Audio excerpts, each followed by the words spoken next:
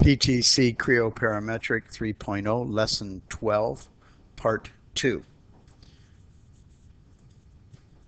In this portion of the lesson, we're going to put in a table, and I put one in already so I can refer to it as we go. We'll do it step by step. So zoom into your title block area. We're going to work just above it. Click on Table, and we're going to have a table with five columns and two rows. So select that. Put it somewhere above your title block.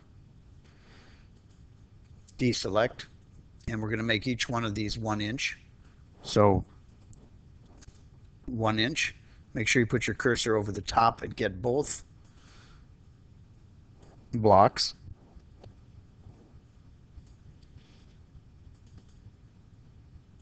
This one is going to be 0.75 and this one will be 1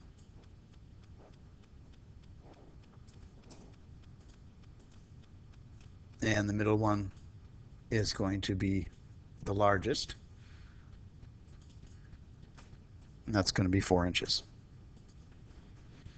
I'm going to change the column or I should say the row height by double clicking on the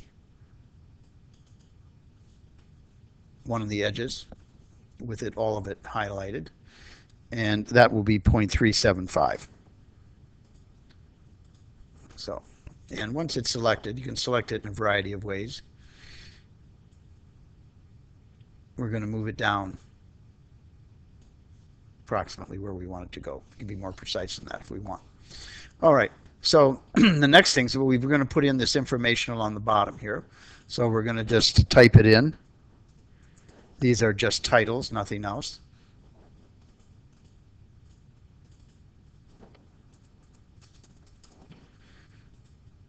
And the, they are larger than they need to be. We're going to change that.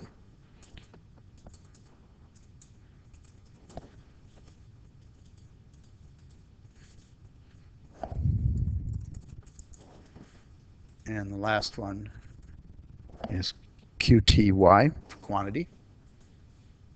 We're done with that, then we can also deselect and then select all the text. Right mouse button text style. And we'll make it 0.125.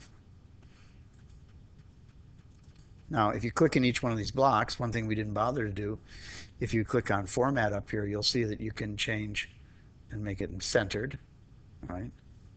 The other way to do it is if you select all of them, right mouse button, text style, and we can make them centered and middle in the text style dialog instead. So either way, working one at a time or with all of them at the same time. All right, so the next thing is we're going to put in some repeat areas. Repeat region, select that.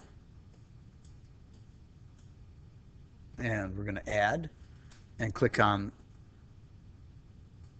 one of the blocks and then the block on the other side for the table. It'll put that red repeat region in. I'm going to select attributes and then you have to select the repeat region that you're working on.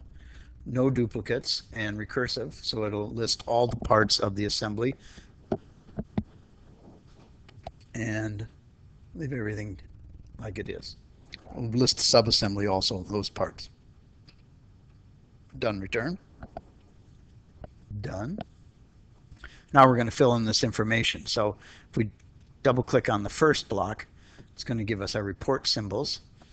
And we want this one to be a repeat and index. And on the opposite end, it's the same thing. Repeat, but this time it's quantity. And then we have PRTNO. So this one is a user-defined one, so it's assembly member, user-defined, PRTNO. Now this corresponds to the parameters that we're going to build into every one of the components.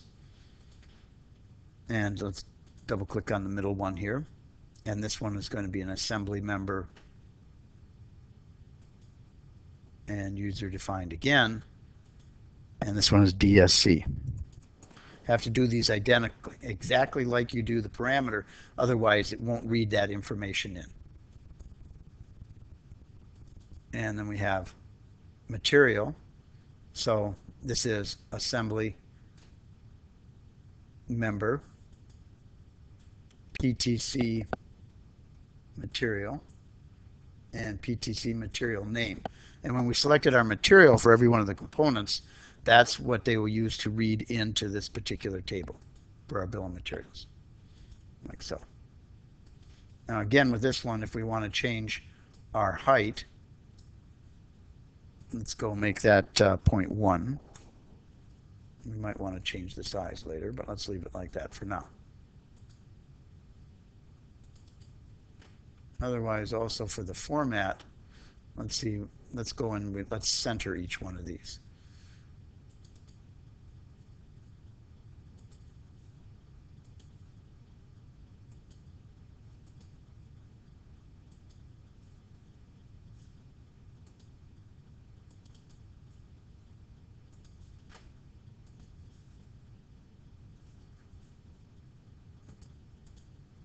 As well zoom in.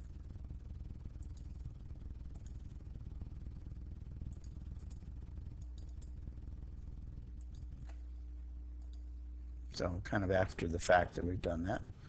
And it looks like pretty much the same as what we've got up on the top there. These were, I think, a little bit larger in size. I made mine a little bit smaller this time. So we've got all our information read in there. At this point, I think I'll take this one out and delete it. Now you want to save this and we're going to use it when we do our assembly drawing later, but we have to first go and do all the components, make sure each one of them has the correct parameters in there and have everything set as we wish it to be before we do our assembly drawing. But this assembly format can be used in any drawing that uses these particular user-defined names that we've established.